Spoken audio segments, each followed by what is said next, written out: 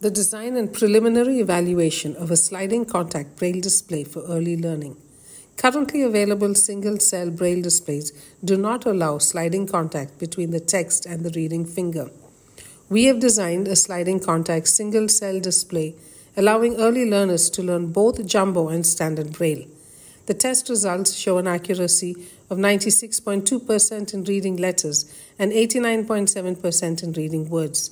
Come and check out more of our results.